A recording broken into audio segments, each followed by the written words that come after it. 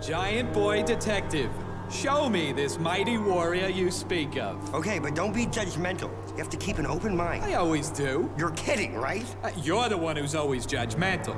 Are, you insane? You're always like, hey, fella, well, you might want to roll up the windows in this neighborhood. Am I doing it now? No. Then show me the friggin' warrior already. What, behind a little kid? Hello, Internet. My name is Billy, and this is your Guide to the Ventureverse, a YouTube series in which I look at each episode of the Venture Brothers and give a brief synopsis, point out interesting facts, talk about its place in the greater canon of the show, and finish it off with some personal thoughts about the episode.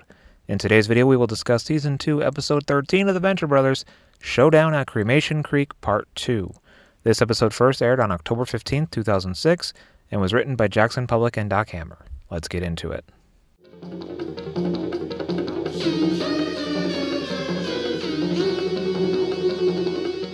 Picking up immediately where the last episode left off, the wedding guests all flee, making room for a giant showdown between Phantom Limb and the Monarch with some assistance from the Venture family and David Bowie. Dean has his own adventure in his mind thanks to a gas leak in the engine room. Meanwhile, we also follow the Order of the Triad on their way to assist with the battle.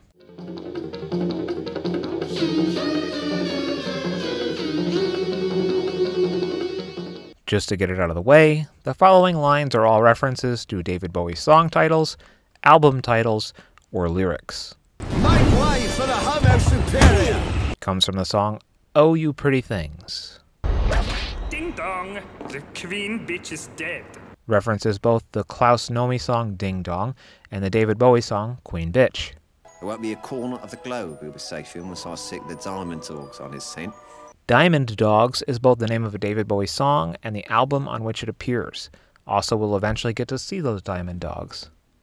Dean's psychotic break hallucination thing has a lot in common with the movie The Never Ending Story.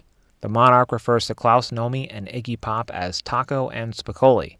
Taco refers to the one hit wonder singer who did a cover of Puttin' on the Ritz in the 80s, and Spicoli refers to the character from Fast Times at Ridgemont High.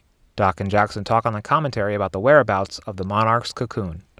Because in the pilot there was the monarch's cocoon was in The Grand Canyon? it looked like it Yeah. it just looked like the grand canyon so at one point i said it was in the grand canyon and then it just became a running gag with jackson and i that he was parked in a big tourist area When he's parked. when he's parked so you know kids would pull up in their station wagon and just look over the gorge and see a cocoon hovering Inconspicuous. yeah When Brock says, Great shot, kid. That was one in a million. it's a direct quote from Star Wars. Great shot, kid. That was one in a million.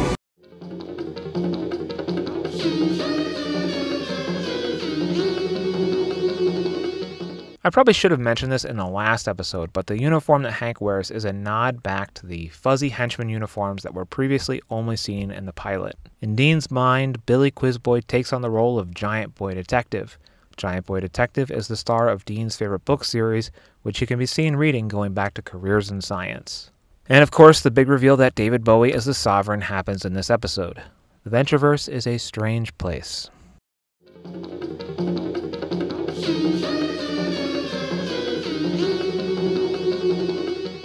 I'm not going to shock anyone by saying this, but Jackson and Doc know how to write one hell of a finale. Pretty much every proper finale has been epically awesome.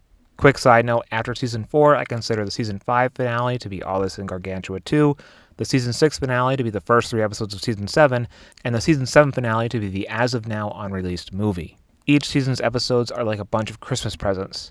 Some are better than others, but they're all rad because you're a kid and they're presents. But each season finale is like that last giant gift that your parents hid until you were done opening all your other gifts.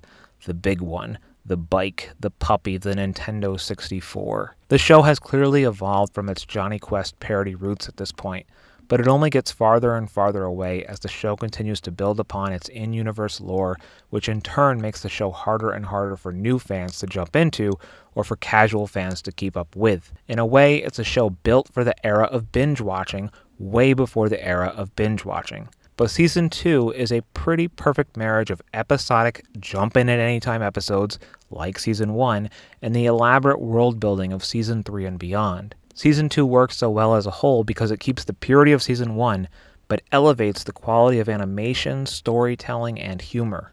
I love season 2 of The Venture Brothers because I love the Venture Brothers. As always, thank you for watching and go Team Venture. Tune in next week for Shadow Man 9 and the Cradle of Destiny. If you dug this video, share it with a friend. And if there was some huge glaring thing that I missed in this video, follow me on Instagram at Ventureverse Guide to see these videos a week early and offer your input before I upload the final product. See you in 2022.